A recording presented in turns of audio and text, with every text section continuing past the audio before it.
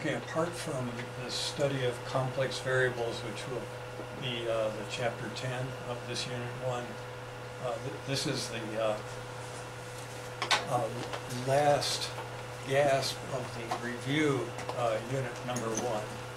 And um, it's the one where I try to put together some of the ideas of quantum mechanics in connection to the contact transformations that uh, we've introduced. Uh, This time I've given you a problem set that is uh, worth uh, at least two or three times as much as the ones you've had so far. So this, th- this is an important one. It's also a fun one.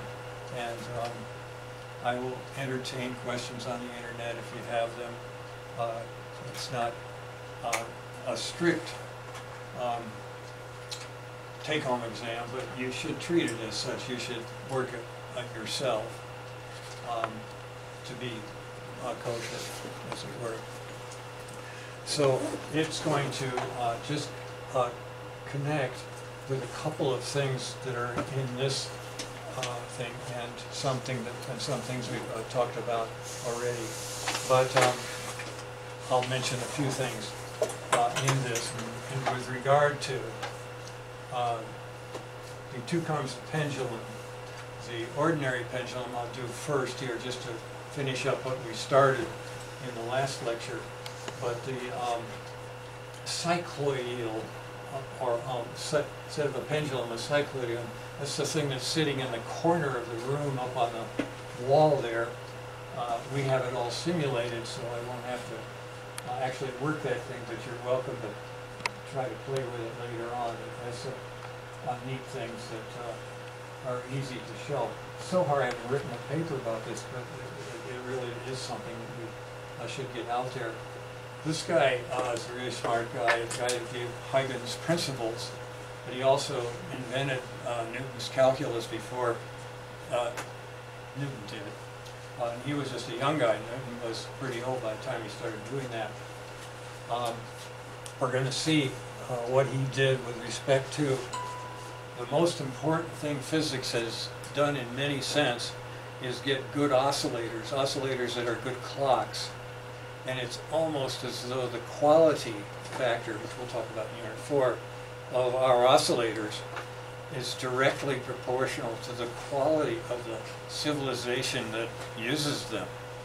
And this is uh, a kind of a message uh, about quantum and classical mechanics that is worth keeping in mind. The use of resonance and uh, something that really tracks time well is so important.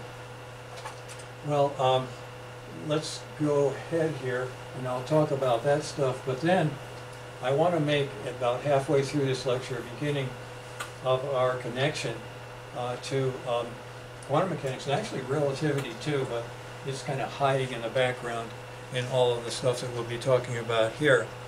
The um, things that we have uh, talked about so far, uh, and uh, the thing that you just did a homework problem uh, on, uh, involves the envelopes and uh, contact transformations with the envelope, and also what's often left out of, of, of discussions of such things um, is the uh, so-called blast wave.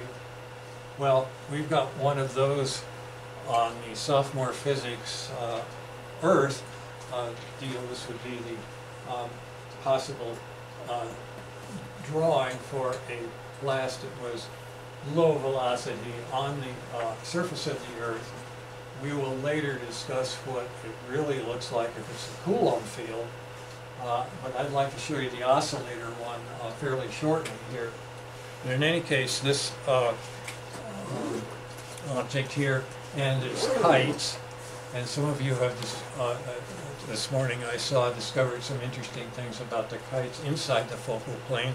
Uh, Very often they can be made into an American kite as well. In any case, um, this is what I'd like to just show you really quickly here, is an explosion of uh, a neutron star starlet. Uh, Imagine it hits a patch of uranium so that uh, the neutrons all start going crazy, and they fly out again at um, a particular velocity or near that particular velocity. And so we'll uh, see uh, the result of that on a simulation that uh, I'll just do it right here. Um, the exploding starlet. And this is, this is uh, you know, quite pretty. Now it has some technicolor in it, and I'm going to explain that. The idea is that when you have a swarm of particles that makes a pattern like that, uh, it's possible to imagine the actual quantum wave function on top of that. And uh, we characterize that wave function by color, color representing the phase. That's what we're going to talk about at the very end of, the, of uh, today's lecture.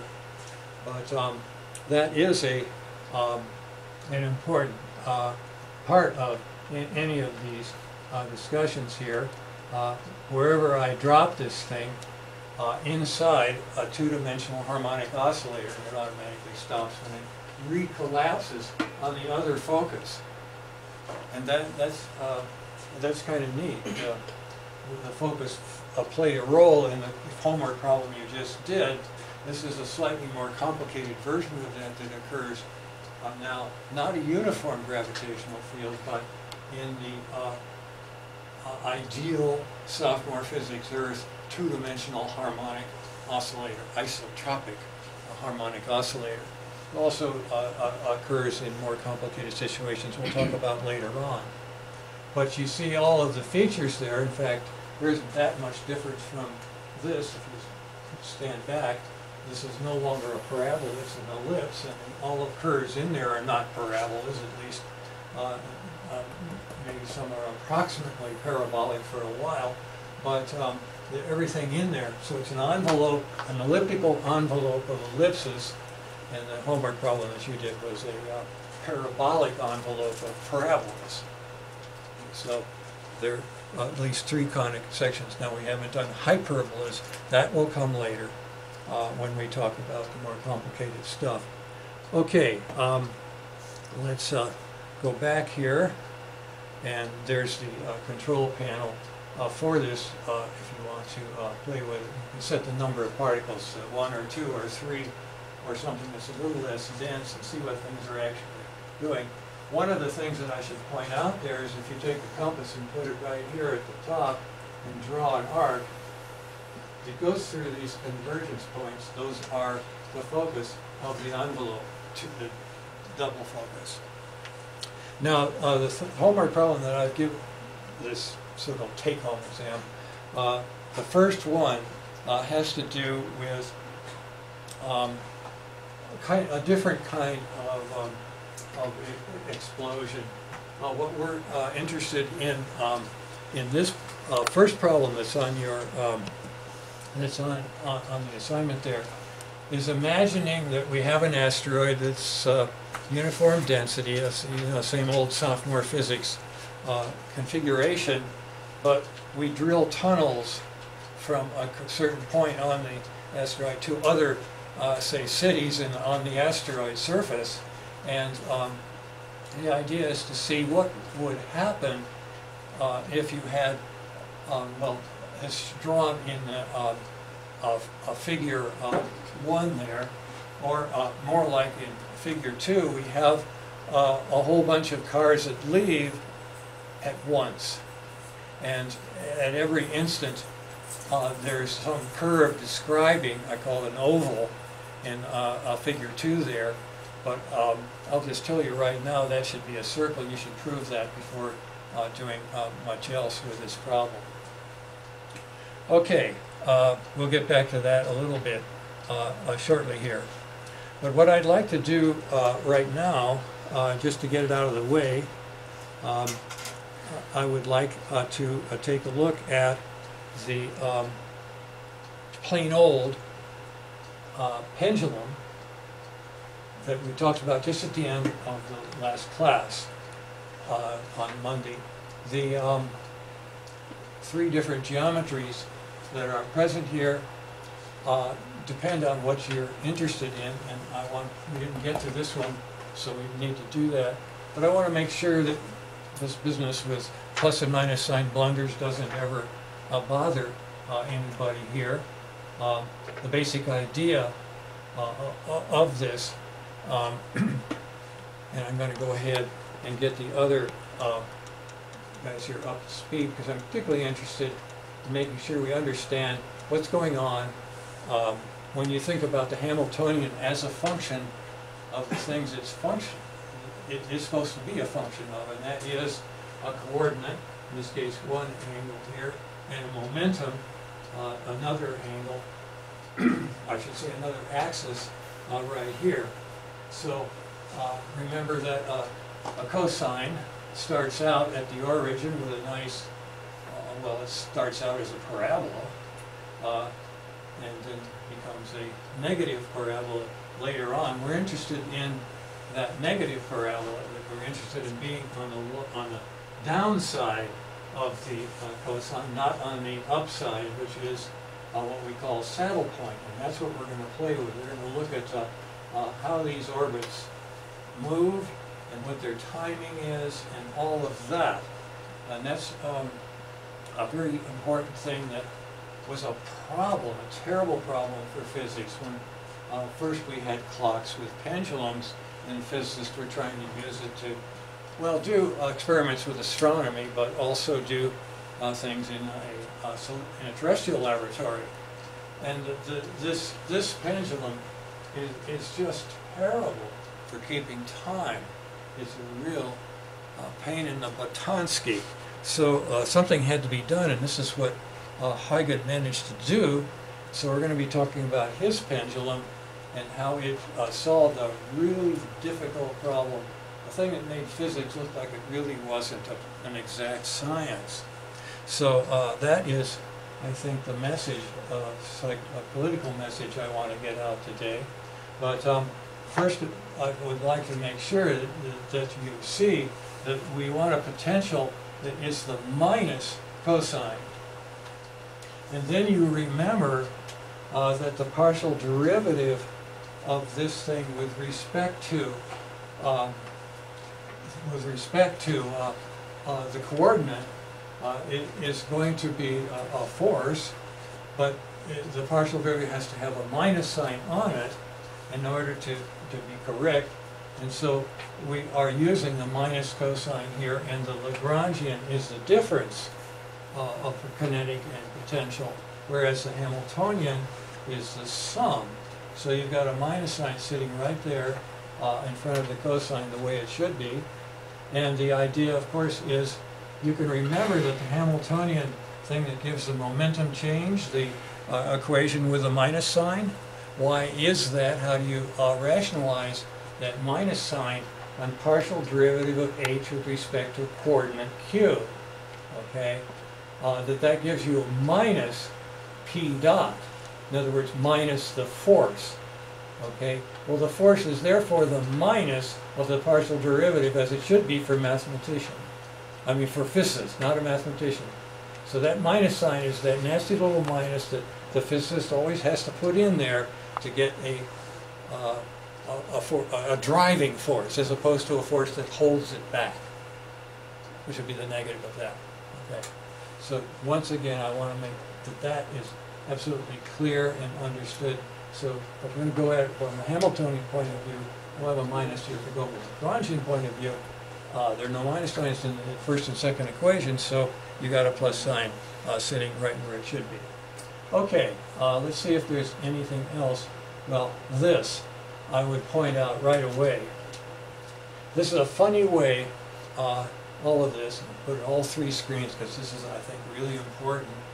This is called the symplectic structure of Hamiltonian mechanics, where you have this minus sign there.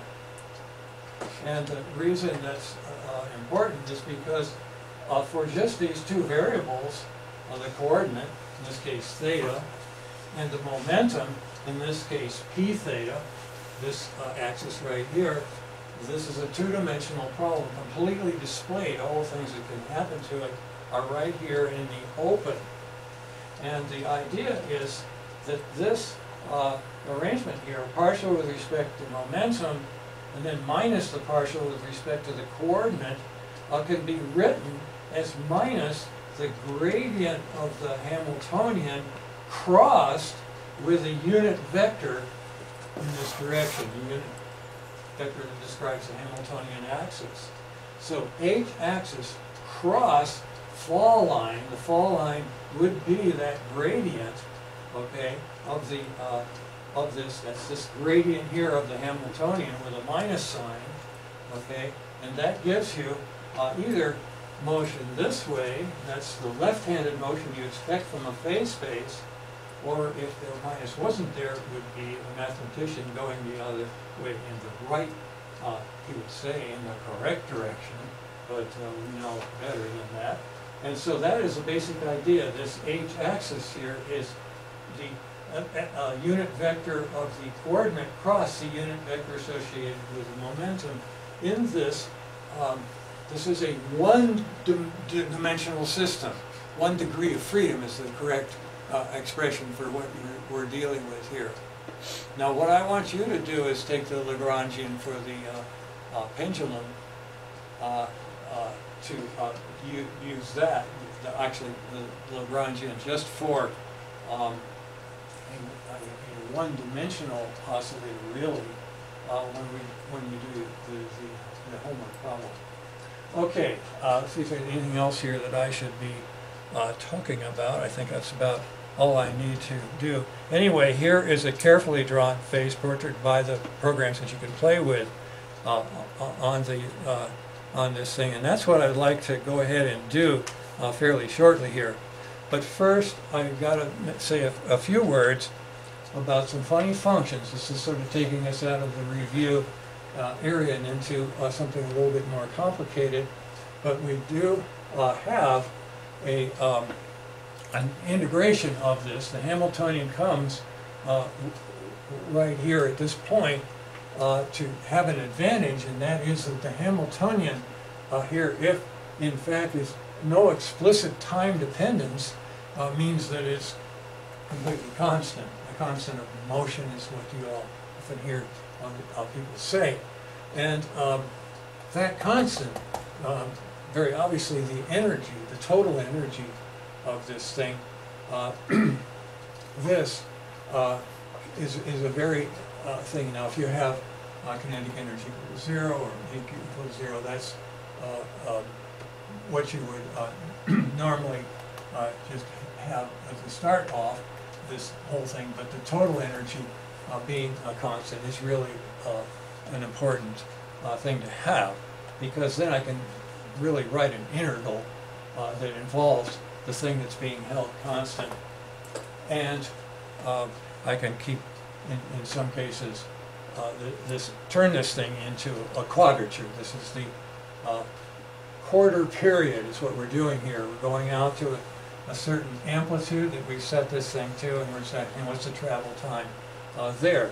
And it's, it's kind of a pretty little thing, but that's not an easy integral to do by any means. In fact, uh, whole careers of mathematicians have come to give us uh, a way to do uh, that integral, and that's known as an elliptic integral, and elliptic functions result from that integral.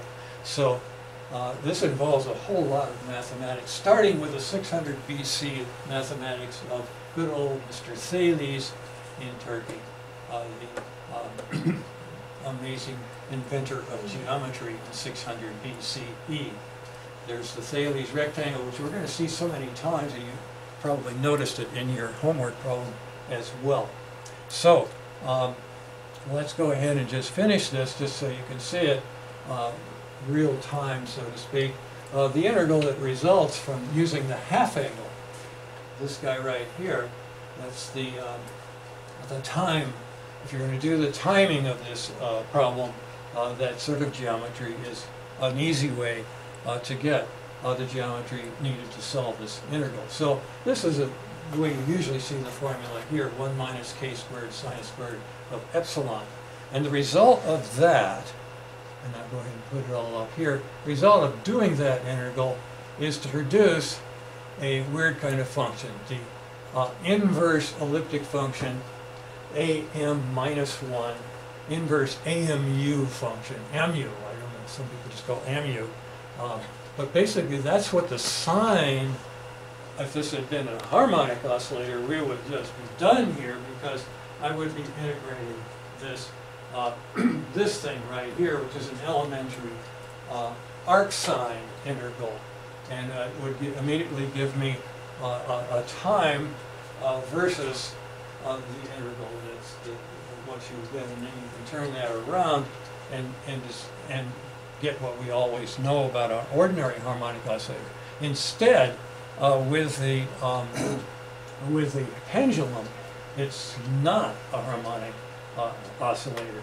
Uh, it's a nasty harmonic oscillator and it doesn't keep time. And that's what I want to show you very graphically with the, with the, um, the simulations that we have here. In any case, this is another way to write that particular uh, in, uh, elliptic integral of the first kind. Uh, that's a fancy way to write it that mathematicians know about, but most physicists have worked with uh, this at one point or another. And what happens, of course, is that this becomes, the AMU inverse becomes the inverse sine uh, in the limit that the uh, epsilon angle here, that we don't move the pendulum but a few pixels, well, then we can have a sine curve. So that's what I'm going to show you very shortly here uh, in the simulations. Okay, let's see if there's anything else I need to say here. As I say, uh, this does reduce uh, to what we uh, know and love as a s- simplest differential equation for oscillations.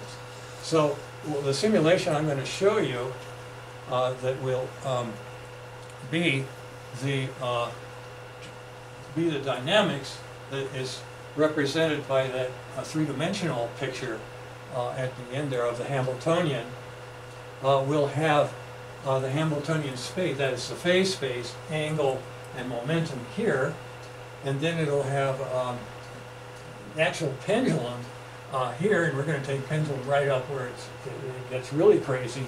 That means in this neighborhood uh, of the saddle points, the points that you see on the right and left side uh, over there, uh, either have, uh, uh, sticking straight up, having come to po- positive pi, or sticking straight up, having come to minus pi. E- Either one of those uh, saddle points is uh, a point where uh, if you put it there, uh, it's going to leave exponentially from that point. The slightest noise or disturbance, this is an, an- an old problem, is how, how, how long could I keep a pendulum completely upright with perfect bearings? And I, I figure out some way to really precisely get it there, but then uh, just a few molecules moving in the room or uh, just anything. Uh, and then finally, if you really were being precise uh, and you fall into the wave function associated with it and try to keep that, that's going to spread and then the classical motion and take over. So it's really hard to balance something on a saddle point.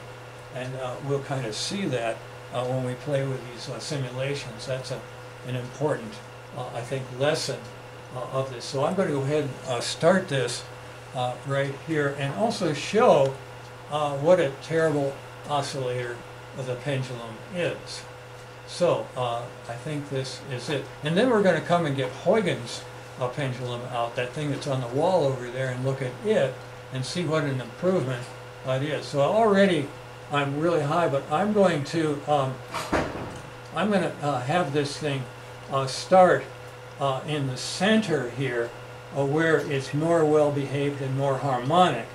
So uh, forget that thing for a while. Let's uh, go right here and see what we get.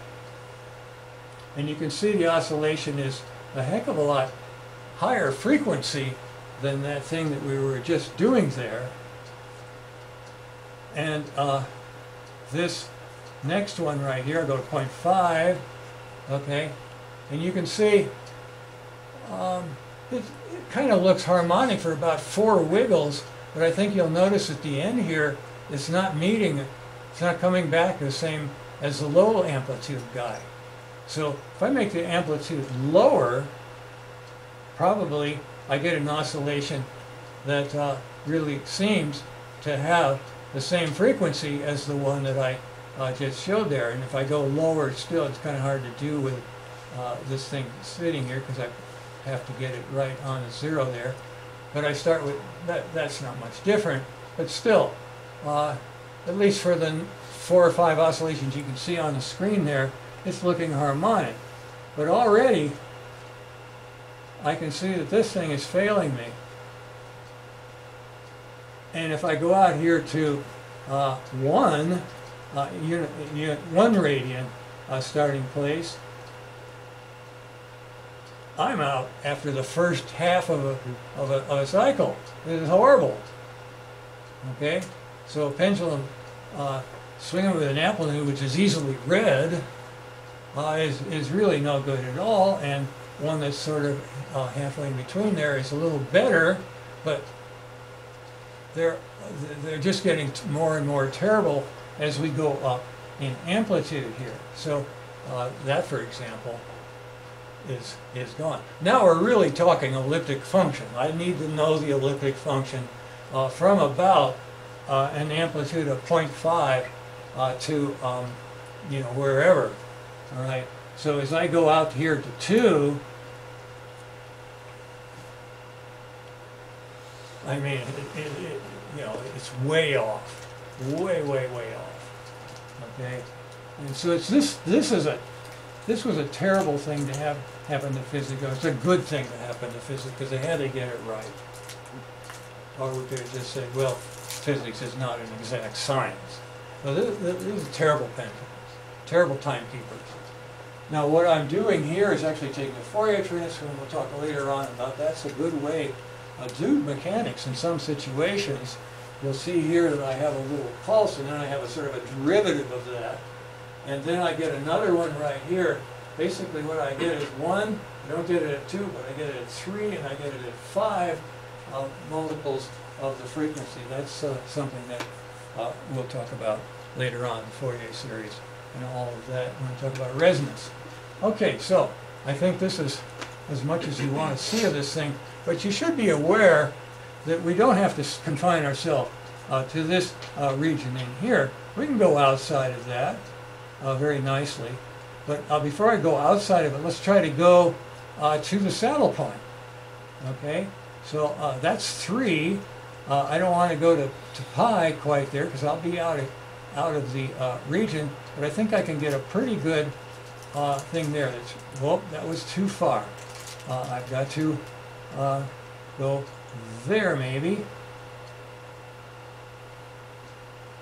Now you're starting to see the elliptic function look more like a square wave.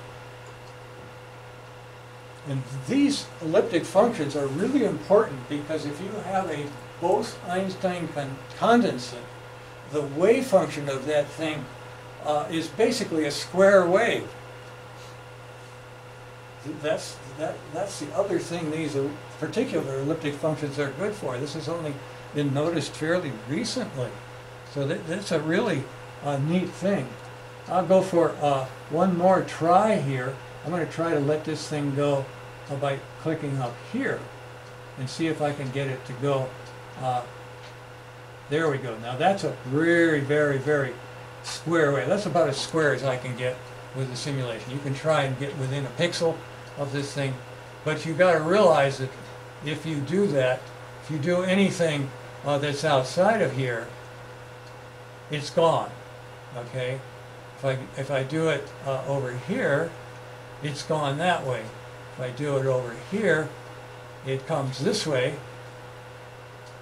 And the further I go, the more I get a curve that simply has this thing whirling around forever.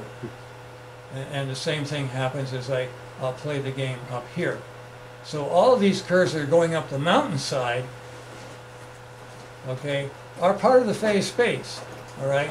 And that's where it, it just turns into a pinwheel, okay? So there, there's a nice simulation if you want to get used to this. And you'll see the Fourier transform does some pretty interesting things that we'll talk about later on. Okay, I'm going to pause this thing and I'm going to uh, go back and make sure that we uh, know where we're headed here because I'm going to do uh, phase spaces very different from this. Um, that's, uh, there's a picture of what we've done. Uh, so here is a picture of the thing that's over there. Built this thing uh, quite some time ago, and it still works. It's just two weights uh, hanging here. Uh, one of them wraps around this cycloid here. This cycloid uh, curve is the involute. Anybody know what an involute is? The locus of the center of curvature of a curve. Anybody uh, run across that? Used to be you had to learn this stuff in calculus, but you don't anymore. You should know it though. Um, and the evolute, that this curve right here, of the cycloid, okay, evolute uh, basically is what you get by wrapping a string with this curve and let it go. Okay, so it's a funny kind of compass, a compass that Huygens discovered. Okay, uh, if you look over there or look carefully here, you'll see uh, that there is a circle that's red that sticks really close to the cycloid, but only breaks off from it uh, out here in the nether regions where this, you know, string is really We'll, we'll- we'll see that uh, a little bit in a minute here. But um, the idea is that um, this uh, valley here, this potential, this cycloidal potential, is to the eye pretty close to a circle until you get to about here, and then it, it sort of deviates uh, from it, but not, not all that much until you get right uh, in this neighborhood. And the thing about the cycloid is that its minimum radius, I should say it's, uh, yes, I, I mean minimum radius of curvature, uh, and, and that's this radius right here that it shares with the circle. Okay, so one of these uh, is connected up here and does not wrap around this, this string. So that's the ordinary pendulum uh, right there. And then this is the pendulum that, uh, that Mr. Uh, Huygens uh, eventually discovered. Now it's kind of interesting. He puzzled over this and had crummy solutions that worked pretty well in the laboratory, but he didn't until the last year of his life work out what I'm going to be showing you here and what you're going to be doing uh, with your um, problem one on the um, uh, homework today. So, and that is building this construction right here on a piece of graph paper. That's why I gave you graph paper uh, that will do this. And the explanations of this are in this lecture, and we'll be doing them uh, shortly here. But um, before we do that, uh, I would like to show you the animation of this weird Huygens phase space. Okay? So, uh, let's go ahead and get that going here. This is a cycloidium instead of a pendulum, but uh, that's the name we just coined. A cycloidally constrained pendulum is what we're talking about here. So there it is. Okay, and it's right out to the limit there. I'm going to take it to the middle just like I did the other pendulum. And uh, what do you see there? Well, at that point, uh, you can um, just get pretty much the same curve that you would get if I didn't uh, have a cycloid here instead of a circle. Pretty close to a circle, but it's not. At the ends, it, uh, it deviates. Now, one of the things about the cy- cycloid uh, is that as you go uh, out to the ends, it gets more curved. It doesn't look that way. And it look, uh, it, the, the cycloid looks like it just goes straight up. But if you took a microscope to this thing, you would discover that the curvature is approaching infinity at the end of the cycloid. It doesn't look like it's doing that, but it is. It is. It's a bizarre curve. There's just no no no doubts about it. Now the other thing that makes that happen uh, is, is you know what what's going on there is I, I will I'm going to uh, start this again, uh, pause it and start it again But this time I want you to see what it is I'm going to be asking you to construct. Is uh, I want you to, to show the cycloid Huygens circles, okay? And I'm assuming he knew, knew uh, all about that by the, uh, the year that he lived, his final uh, year. So uh, let's go ahead and start this guy up again. Uh, sorry, um, pause guy. Uh, I got hung, I'm sorry. Try the Yeah. show main control switch. Oh, okay, this is, there we go. Okay, and the idea is this cycloid right here and here is being made by a point that's rolling. This, uh, this guy right here is being made by this circle rolling on that line. The, the points that you'll see over here are being made by this, this string, uh, you know, do, doing its thing by uh, getting um, wrapped around uh, this cycloid. And the fact that uh, the evolute of a cycloid is also the same curve as the involute of this, that is this right here being the locus of some curvature of this is, um, it, it, it, how should I say it? Um, the, well, this thing evolves from that, so it's called the evolute. Uh, this is the involute of this one, and the two are that of each other. And th- that's an amazing uh, property of the cycloid right there. In any case, as we go out trying different amplitudes, this time we discover that every amplitude we pick within the phase space here uh, is, is tracking, as far as frequency goes, what came before it. So I can go clear out here to 1.5 and get a pretty curve that goes through all of the uh, period points. Okay? And even an amplitude of 2 is showing no sign of deviating as far as its zeros go, giving you a, a record of period. And also its maxima are fitting very nicely and it, it works that way as we approach uh, pi, as we uh, take the thing uh, sort of to the limit here. But at this point, we're starting to make a sawtooth. But the sawtooth is, is uh, honoring uh, the thing, and it doesn't matter if you go the negative way, uh, it, it, uh, rather positive amplitude uh, is what you show after a half period, okay? All of that is just following uh, the same path and doing it at the same rate, time rate. And th- this is, is really quite bizarre as we approach the end of the phase space for the Huygens up cycloidium or pendulum or whatever you want to call it. And um, I can go right here to three.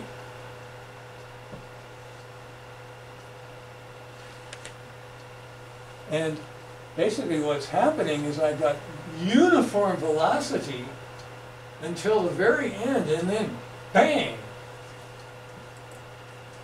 This is a bizarre space, uh, phase space to say the very least.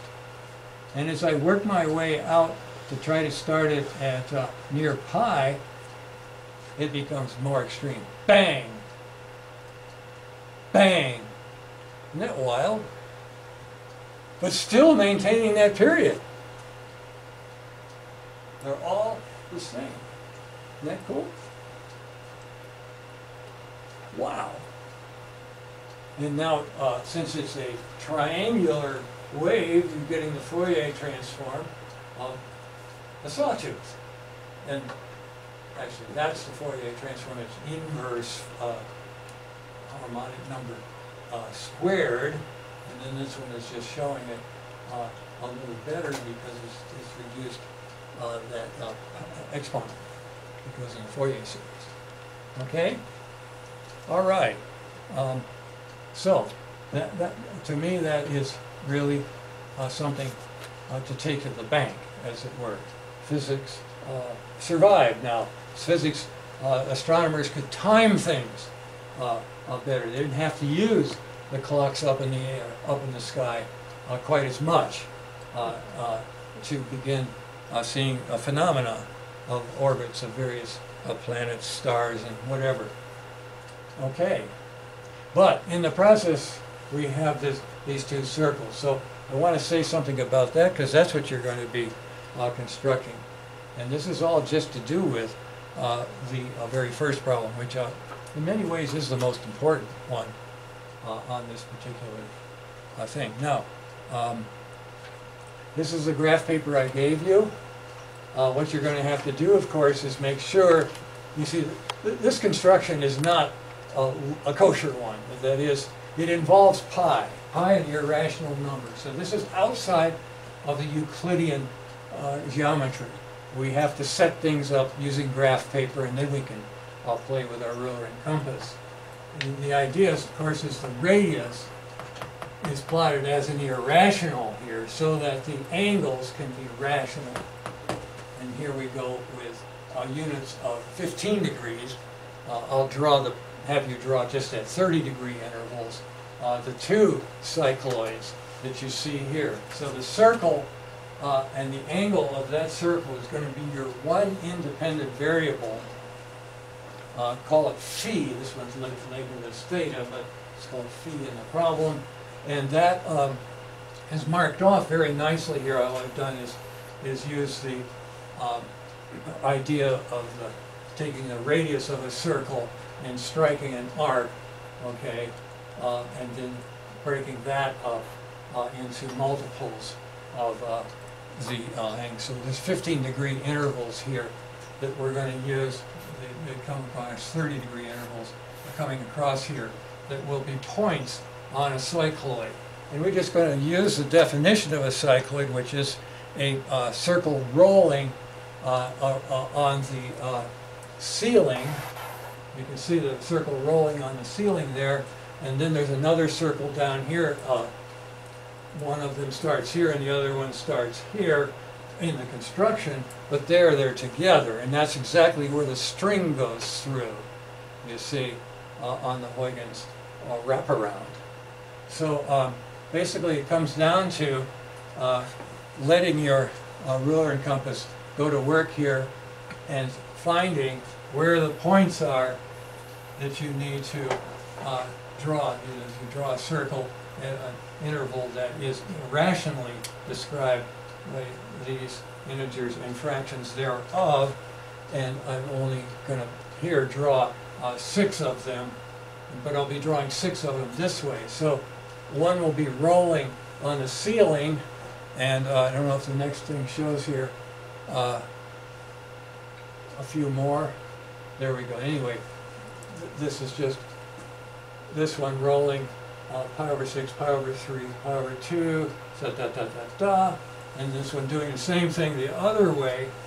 And then, uh, if you've done it all right, you'll actually see the strings connect here as they wrap off of the top cycloid to give the lower one. So this is a very clear demonstration of the evolute being obtained from the involute, but then this thing could be used by simply projecting, if you could do that, uh, up to here, uh, the actual radius of curvature at this point. But this is where it shows very clearly that, that the radius is going down. And by the time I get to this particular circle, I'm all that close to being at the end here, you see. And I have just a few pixels to go, but I've got to go to an in, I've got to go to infinite curvature. That's zero radius, uh, just going from here to there. Okay, is that is that clear? Does that make uh, sense? This is this is what you've got to do. Okay. All right. Now, um, let's see if there's anything else. I think I'm going to uh, skip this particular one. The catcher and I, we just looked at that very briefly um, on, on on the um, preceding lecture, but um, I'm going to go ahead and pause and get out of here because we have some other things to do uh, uh, now. So uh, there's the picture of the geometry of, of Huygens. And this is this catcher in the eye, which we'll skip now. Okay, so the rest of this is going to be try to make some sense out of the Hamiltonian and, and, and uh, Lagrangian. But in particular, build out of this uh, something really Jacobi uh, was the originator, but Hamilton, smart guy, probably did it uh, over a weekend. Uh, th- this is where they almost discovered quantum mechanics, but didn't quite. And before I do that, I want to talk about an optimization that's really uh, a key to uh, this. And this whole homework is, is based on uh, finding optimum time, getting the time down on taxis that go through tunnels uh, in the earth. That, that's the whole uh, thing. And we're doing about half of that job. We'll be doing the rest of it involving hypocycloids and epicycloids, but that's much later. I decided to draw the line right here for now. So what I want to do is show you a very weird derivation of Lagrange's equations. We've, we've been through a number of them already, uh, particularly the last one was the algebraic one you find in every uh, other mechanics textbook. But uh, here, I'm, I'm playing with something that's called the calculus of variations. And this strange derivation of Lagrange's equations is, is, is going to come out of this. Now this, uh, how many people have uh, uh, read any of the Feynman lectures? Just out of curiosity, uh, put your hand up. One, uh, Feynman lectures? A while ago. a while ago, but that's okay. Uh, one of the things you might have remembered in there was he talks about a, a verbatim lecture. It's a verbatim lecture showing a picture of him actually sitting at the at the podium in a, um, a class in 1964. Which, uh, I happened to be there when that was, but he never told me that he was doing these lectures. I missed them. He figured I wouldn't be interested or something. I don't know. But in, in any case, uh, he talks about how he uh, was interested in uh, something his high school teacher, Mr. Bader, uh, uh, told him, and that was that really mechanics comes down to optimizing an integral of the Lagrangian. He just thought that was really cool, and uh, he makes a big point of it in, in, in the uh, lecture and in the book. Okay. Now I'm just doing the algebra here that uh, everyone uh, knows about, but what the idea of calculus of variations is that you you don't just vary one variable, you vary an entire curve. So every point on this curve uh, is up for grabs be taken up or down some amount or be left alone.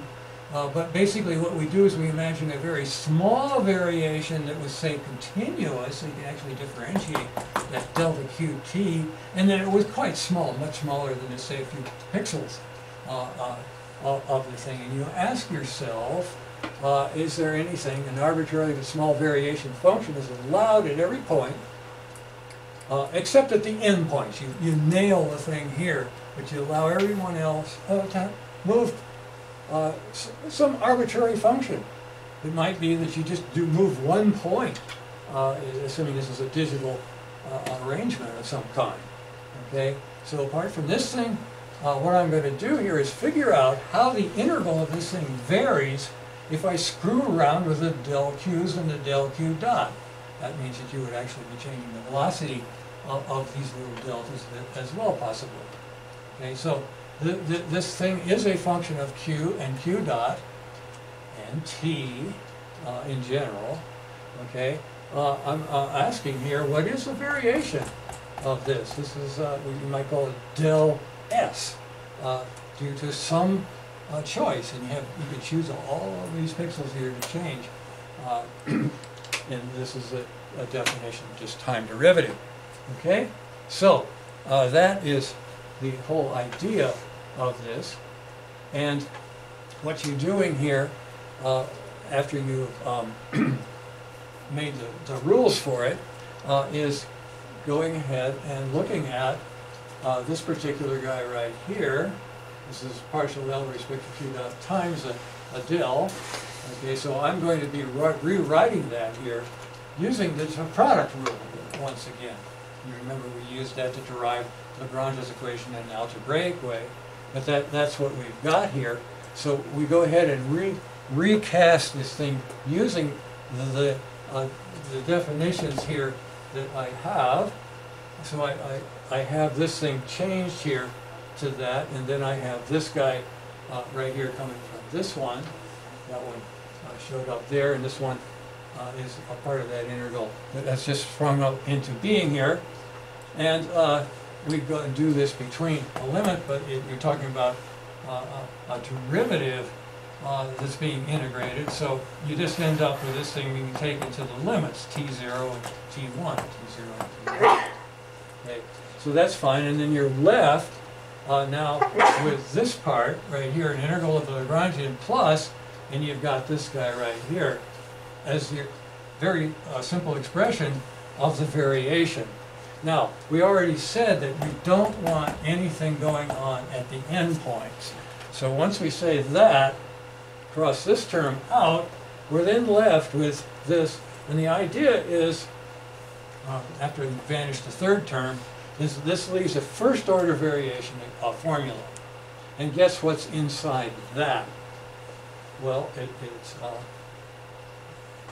Lagrange equations. If I demand that this thing is uh, optimized, that is, the delta is zero, the first order. That's the derivation.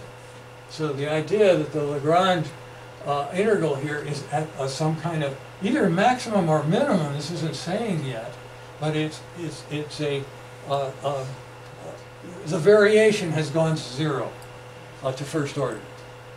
So that's, this is the thing that Feynman really was uh, just taken by uh, when he was in high school, and he continues to pass that on uh, in the classroom in 1964. But this he fails to ask. I mean, he's obviously asking himself, but he's he's not ready to tell the class about this or something. And the question really is, why is nature so inclined to fly just so and to and it turns out minimize, but to extremize in some way the Lagrangian? What is going on there? What is so special about t minus u? You say, t plus u, okay, constant, that's Hamilton. But this is a whole different story now. We're talking about t minus u. Okay. All right, well, we've got some work to do. And this is where we make the connection. And this is something Dirac was at the time beginning to work on. It wasn't to those two guys men, uh, Feynman and Dirac, that uh, things really started to happen in this thing that we're talking about here. And that is really understanding some ideas about quantum phase. So uh, we already have uh, talked about enough times here that she's probably bored with it, the, the uh, Legendre transformation and the Poincare invariant differential is just that with a dt cleared out. So I go through and I multiply by the, uh, uh, an increment in time. Well, uh, this uh, v being dr dt uh, would imply then that uh, v dt is dr. So I'm going to go ahead and write that as dr. Okay, and then we have the Hamiltonian minus dt. So the Legendre transformation is giving us this, PDR minus HDT. That's a big deal, because this is an action that involves momentum and position, this is an action that involves energy and time. These are products of, of two, shall we say, uh, mutually uh, sympathetic quantities that we, uh, we uh, talk about all the time. Basically, here's where wave mechanics raises its either ugly or beautiful head, depending on how you feel about uh, doing quantum mechanics. This differential of action has, whose time derivative rate is L, that, that is turning out here to be uh, basically the quantum phase. Well, what is phase? A phase of a wave is the k vector dot the posi differential position and the omega frequency vector dot the time differential. Well, you already have learned that in 1900, Planck decided that maybe uh, energy was linear in frequency, so he wrote uh, E equal h bar omega times an integer. He, he needed that in order to make uh, some thermodynamics work. And then this guy right here is, is the k vector.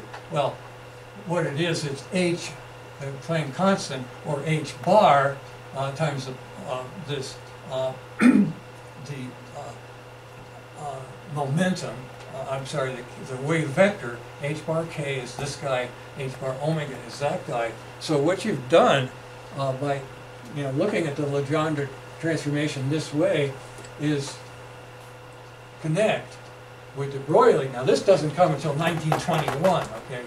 But they had this, okay, for quite a while before 1929, and Einstein is kind of knows this is true, but didn't write it down.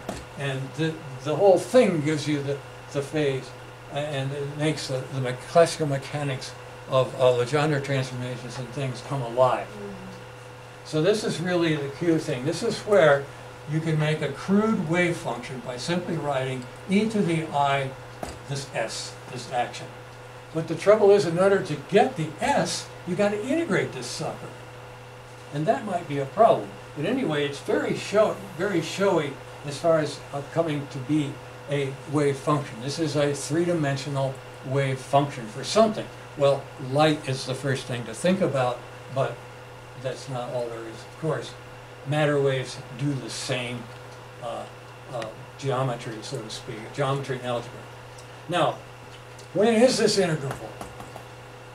That's the question, okay? This differential here, okay? If you could write this uh, quantity here, that's uh, this, this first one, okay? If you could write that as a uh, x derivative, and then this one as a y derivative, you'd be home free. You, you could integrate this. Uh, that is, you could make a single function out of the integral, not a multi-valued function, but a single one. Now, is that a really advanced idea? No, it isn't. This is sophomore physics right here.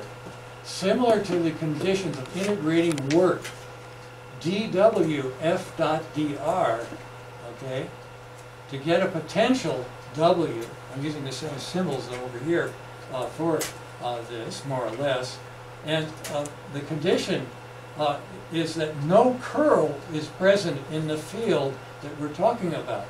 No, uh, we want the curl of f to be zero, so that I can get the partial symmetry. This, the, the partial with respect to y first and x second should give you the same thing as the other way around. So partial fx with respect to y has to be equal to partial fy with respect to x. If that's true, if you have that, if you have those rules, okay, that is, if this coefficient right here is the partial of this thing with respect to r, that's this differential, and this one right here, that's this coefficient right here, uh, is partial s with respect to t, okay, and it's minus h, so you gotta put a minus sign here, all right? Uh, it's integrable. So that's how you derive in just basically one line of the Hamilton-Jacobi equations. Now, if you look in a famous book like Goldstein, this takes 65 pages to derive this. This is a sixth of a page. Okay, th- that's the kind of insight that you like to get, and that's the kind of insight that happened when uh, Feynman and um, Dirac met at a, just an APS meeting, and uh, Dirac has, has written a paper. He says, "Look at this." He says, "I- "I'm showing that the Lagrangian is is related somehow uh, to the phase." Feynman says, "What are you talking about? The Lagrangian is the phase." This comes out says that. Know, Dirac "You know, uh, you're kind of right, but it isn't right. He's got- the units wrong." But you know, Feynman, he can get away with that. So uh, he, he uh, convinces Dirac that we got something, and this is what began the whole thing with Feynman and his path integrals and all of that kind of stuff. So um, I really uh, think that's an important uh, break uh, right there. Okay, so uh, now you can use this immediately uh, to answer the question: How would somebody knew classical mechanics derive quantum mechanics, uh, and some parts of quantum mechanics. And this is non-relativistic, but you've got to realize that this sucker right here, the uh, it's called the Poincare invariant, and I'll tell you in just a minute. That thing is invariant to just about everything, and that includes relativistic transformations. This is a relativistic invariant. So, you know, we're talking about something really golden here that these guys are uh, playing with, okay? So, uh, having these guys uh, be integrable uh, means, first of all, that if I make a wave function using that thing as the phase, there's the phase, okay, and I really mean that if I use the, I said h bar uh, uh, equal to 1, uh, but I'm actually not really doing that. I'm going ahead and putting it right here where it should be. Uh, take an uh, in- inverse of h bar and you'll get the actual way we write wave functions, uh, plane waves anyway. And so here we go and we look at the partial derivative of, of being p, okay? So I, I take the partial derivative of this wave function right here, uh, just to play with it a little bit here, and so I end up with partial s with respect to r in that, in that uh, position right there. And um, I also have the actual uh, i over h bar factor coming down. And what that gives you is that this partial derivative with respect to r is i over h bar times p uh, multiplied by any of the wave functions. And you've all seen that, right? That's just showing the p operator is the minus h bar i or h over i partial with respect to r. Okay, so that's a very useful uh, connection. It's basically Fourier analysis, but uh, suppose you didn't know that. This is where you would you could say you're getting it physically. P is h bar over i partial r. That represents uh, what it does. And then let's try the t derivative. That's the other side of the story here. The second Hamilton-Jacobi equation. Okay, I'm going to be doing a partial of it with respect to time, and I get uh, this. So uh, basically what I'm saying is what you've just created here is Schrodinger's equation of motion. That's the whole ball of wax in quantum mechanics, non-relativistic quantum mechanics. But if you play the game right, it's also relativistic quantum mechanics. This equation is true uh, relativistically. So here's classical mechanics deriving this subject that everyone thinks is very mysterious. It is, it just takes a little bit of the mystery out. Okay, so there's your Schrodinger time equation, which of course is occupying places up on the board here, which we'll uh, go over in more detail later on. Now, we've got a few more minutes here to play with something that's really quite, um, I think, important. And this is where uh, Feynman really understands what's going on with the minimum of the Lagrangian um, interval. Minimizing that is, is so important. Okay. So uh, here we're taking care of all the dimensions of space, and then we're taking care of time, uh, building uh, what is, at least for the first equation, non-relativistic uh, quantum mechanics. But um, here we ask why it is. How, how uh, does nature uh, enforce the minimality or maximality, depending on whether you put a minus sign on it or not, of this um, integral here. This, this is the thing with all the time going, but we, this is called the principal action uh, in um, books by Heller and uh, that I showed you the, the um, very first day of class. Um, this one is the reduced action, okay, Hamilton's reduced action, where he just makes it into a spatial integral. Either one of these uh, uses an argument like I'm showing here, and the idea is that the Huygens wavelets, okay, are producing the next wave. This is the contact transformation that's that's going on a trillion, trillion, trillion, trillion times as we sit here in your body, out in the space, everything here. Everything we see and do involves waves at some level, particularly the quantum level, uh, generating the next wave. Okay? And it looks like a totally chaotic process because what happens, every dot on this particular wavefront is broadcasting a new wave, you see. So every moment this is, this is happening, you see. So uh, it looks like this wavefront is just making a mess out of the next wavefront. But that's not the case because you see only, only on what's called the true classical path does it, as opposed to some path that just goes randomly around the classical path, only on this path is there the extreme minimization of the uh, action.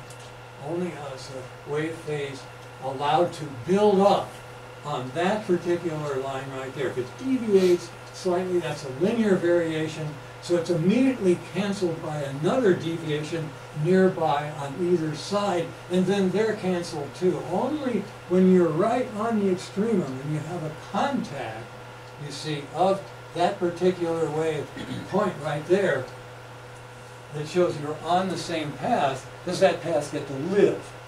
So the classical uh, um, result, a classical trajectory uh, results, uh, uh, um, well, as a winner of an incredible lottery.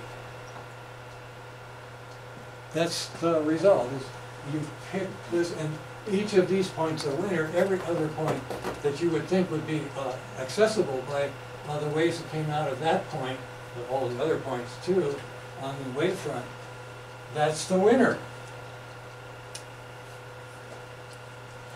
Now, Einstein uh, has a famous quote that the, the God, whatever it was, of the universe does not play dice with the universe or the physics. This is clearly showing that not only is he playing dice, he's gambling full time, 24 hours a day, drinking himself silly in the basement of the casino that is our universe. So Einstein completely misses the wave mechanics basics uh, for his whole life, it seems. Which is kind of tragic because he did so much else. But anyway, that is the thing that I really want you uh, to see here. The action is the quantum phase, and boy, that uh, that's that's important. And it's important for actual practical uh, things. What we're talking about here, uh, Feynman path sums, closure relations, uh, here's Dirac notation, here's the actual propagators that go in the exponents of the generators of the propagation, all of that kind of stuff really boils down to some pretty simple ideas uh, at the basics. They uh, need to be explored more, of course, but uh, we're getting we're getting a little better about uh, taking some of the mystery out of all of this stuff. So uh, the thing that I wanted to show you here was how you actually do quantum mechanics if you only know classical mechanics. Well, that's being a little facetious because I mean, you know classical mechanics, uh, it involves these things. Uh, what you do uh, is you numerically integrate Hamilton's equations, but you do it by color. Uh, you let all of the classical trajectories be colored according to a current cumu- accumulated value of the action, but you adjust, um, you can adjust the energy uh, to the quantized pattern if it's a closed system. Uh, in other words, you can try a different, well, let's just say, what I do is I, uh, I represent the phase by colors. That is, the phase is just going around a phasor. Okay, so all of these things are fractions of pi. Say I start with red, and then at quarter pi I sort of color it orange, and then uh, I get to pi over two, I'm yellow. I get to three quarters pi, I'm green. I get to pi, I'm cyan. Okay, that's the opposite of red, so your eye sees it as so. See, there's something that's at phase pi. Uh, there's something that's very close uh, to. Let's see. I'm sorry. Um, th- this one is pi. Uh, the red, this one right here is phase zero. So these, this is a wave function, that this one is zigging while that one is zagging, okay? That, that, that's the way you read these, these, uh, these chromatic pictures where the colors are all coming on trajectories that that have been running for some time to fill up the space, but they've been um, changing their uh, uh, colors according to what the action, what the Lagrangian uh, has become uh, at that particular thing. Now, if you just use 32 colors, it's enough precision to, to do low quantum uh, stuff. Now, all of this is something that Michael Davis and Eric Heller, Rick Heller, put together in 1981. This was a, a really big step in being able to do um, molecular spectroscopy, uh, but in particular kind of of, of, of, of mechanics and physics that, that um, physical chemists and chemists, even wet chemists, started to use all this stuff because it was so much easier to integrate a quantum mechanical system of some complexity uh, doing just this. Uh, later on, of course, he did other things. Now, this is our favorite thing uh, last few days. Uh, maybe you're not so favorite because you, you've done this problem and maybe not done at all. But um, this is the the um, fountain of um, parabolas and contacts. But here you see, uh, th this is an open system with continuous energy. Uh, I can, I, I don't have any boundaries where the, the wave come back and reflect off itself. This is a two-dimensional oscillator in a box. So it's making uh, only a, a, a color red and cyan. This is a standing wave. The, the red is zero, so uh, that would be a, a, a up, up, up, up, and this is down, down, down, and down. So that's a very simple wave of a, of a two-dimensional uh, harmonic oscillator. Of course, we can solve that thing exactly, uh, but here it is being produced by something that doesn't know how to do that. So here, the energy is continuous. Okay. So you see it go through the full chromatic, all the way from cyan to magenta to red, and then start over again with a yellow and green, cyan, a blue, magenta, and red. So there's a continuous phase. These are all waves that you can actually see uh, interfering with each other. The waves that come up then reflect off the boundary and come down interfere with the uh, ones that are, so to speak, underneath uh, there, that got there earlier. So here's what happens, and this is something you can see uh, from looking at the phase velocity. The phase velocity here, uh, the derivative of position with respect to time uh, in this uh, equation here. Uh, and the, the idea is that uh, d- if you just look at phase uh, zero, dr dt is the ratio of this to the p, okay, the coefficient of the differentials ratio. And that's just the ratio of omega over k. That's a standard wave mechanical relation giving you what we call phase velocity. But when you put two or more waves together, uh, you produce uh, a phase still, but the, uh, uh, the envelope of this, the group velocity, is actually uh, what you're uh, interested in. Here, we're talking about the derivative of omega with respect to k partial. That's h with respect to p. That's the slope of a dispersion function, basically. And th this right here is Hamilton's first equation. And uh, the, the velocity being the gradient, the p gradient of the, of the Hamiltonian. Okay. Anyway, this is what uh, you actually see, and we don't have an animation uh, of this particular uh, fountain that we've been working with as far as the colors uh, go, or I could show you this wavefront. First of all, of course, it just expands, and then it reflects off the contact point, and it looks like a bat or a cat has two little ears where the, the sort of singularities uh, of this um, of, of action uh, occur, and the, the ears scoot really fast if, uh, it's, it's only a very fraction of time, uh, to be over here, and then they slow down. Try the link at the bottom, Professor Harter.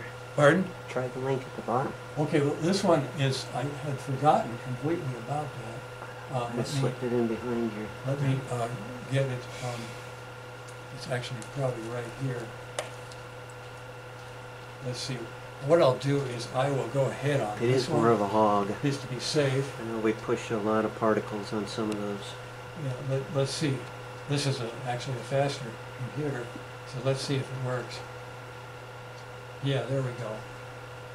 That's kind of, kind of showing. See the, uh, the cat? Uh, It's shown with two, uh, pieces to it. Let's go ahead, uh, reset that and we'll re, reset. Re- I'll, I'll try two equals zero. There we go. We can pause this at a certain point here, because I would like to make a point about this. What you notice, is first of all, the blast wave, which is showing you where classical things are, but then the uh, other side, the cat, um, what is uh, happening, I call this, uh, uh, after Alice in Wonderland, Charles Dodgson, Lewis Carroll uh, spoke of the uh, amazing cats that lived in, around uh, Grappenhall, okay, had huge smiles. they were so ma- amazed people who made statues on the churches that show these things. But what, what's going on here uh, with this is the quantum phase velocity uh, can be really fast, but then it, it slows down. When we get out here, as I say, the cats all smile. There's uh, nothing left but a smile. That was the whole point of the uh, Alice in Wonderland uh, fantasy. Uh, that there's a big smile up in a tree after the cat gone and hidden behind it. The um, basic idea, of course, this is uh, the actual momentum of this is the gradient of the thing. That's part of the Hamilton-Jacobi uh, uh, equation. And um, this is, of course, not to be confused with the blast wave, the actual classical thing. Um, the group velocity is the classical particle velocity. So the group velocity here is, is uh, going more and more. It comes up here, comes to zero, and then uh, starts growing, growing, growing. So you get a higher uh, group velocity further down because it's falling further. And that, that's this guy right here. That's just our circle. But inside this, the phase uh, is slowing down. And you can see the reason for that is that phase velocity is inverse in momentum. Okay, so you go higher momentum, your phase velocity slows down.